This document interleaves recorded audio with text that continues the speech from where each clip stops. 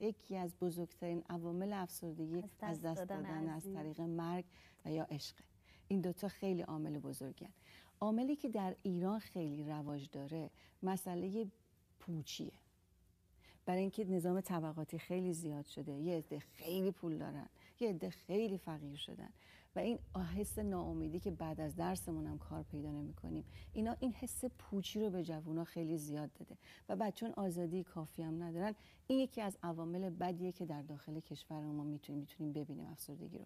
ولی افسردگی جهانیه. همه دنیا ممکنه دچار ما خیلی از مشهورین افسردگی شدید گرفتن. بعضی از افسردگی ها افسردگی خشم از طریق خشم خودشون نشون میده. پرخاشگری شدید می‌کنه. حساسه. از بغلش رد بشی کبود میشه داد می‌کشه. یه چیزی بهش میگی به تیریج قباش بر می‌خوره فکر می‌کنه تو گوشه زدی فکر می‌کنه منظور داشتی. اینا اینا تمام عوامل افسردگی یکی گریه می‌کنه یکی پرخاشگری شدید می‌کنه. دلهوره چی دل؟ دلهوره از اون استرابه میاد.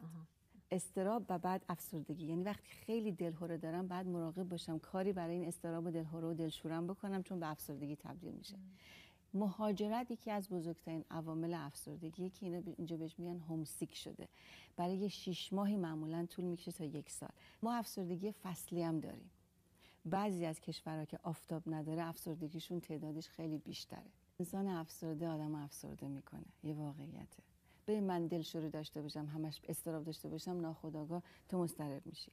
وقتی من همش کاسه غم تو دستمه همش اخمام تو همه. همش اینجوری یه گوشه نگاه می‌کنم اشک میریزم. حال روز بچه و اون شوهر و اون زن خیلی خرابه. دوستا واقع یعنی تاثیر گذاره تاثیر می‌ذاره تو روحیه آدم. روحیه آدم رو خراب می‌کنه. این به این دلیله که وقتی من می‌خوام برم خونه اگر پدر مادرم پدر بزرگ مادر بزرگ کسی از اعضای خانوادم افسرده است من دلم نمی‌خواد تو اون خونه برم. زمانی که من حس خودکشی بهم دست میده زمانی که در مورد خودکشی دارم صحبت می‌کنم حتما اینو باید جدی بگیرم و جدی بگیرن. همه خودکشی نمی‌کنن نترسیم. ولی خطر خودکشی خیلی زیاده تو انسانهای افسرده و تو انسانهای منیک دیپرشن جدی بگیریم. دارومون رو اگر شروع کردیم. ببین دارو وقتی شروع می‌کنیم ممکنه که برای مدتی بین سه تا هشت هفته طول می‌کشه تا دارو جا بیفته. ممکنه یه ذره حالتو بدتر کنه. نگران نشو. با, با دکتر صحبت کن دارو تو عوض می‌کنه. ممکنه روی کسانی سریع تاثیر می‌ذاره روی کسانی دیرتر تاثیر می‌ذاره. دارو رو یه دفعه استاپ متوقف نکن. نکن این کار بسیار خطرناکه.